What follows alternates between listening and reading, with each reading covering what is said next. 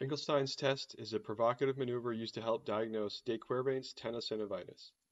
The patient is asked to make a fist around their thumb in a neutral position.